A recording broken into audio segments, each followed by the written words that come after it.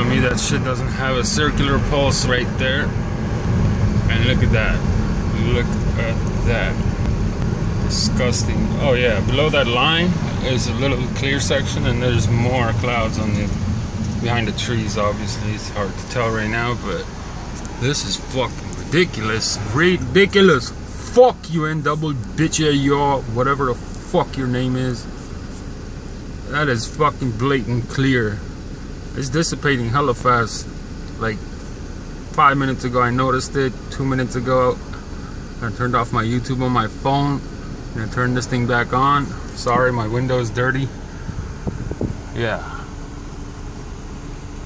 And I turned on the camera and this is what's left of it. But it clearly, clearly was red circle.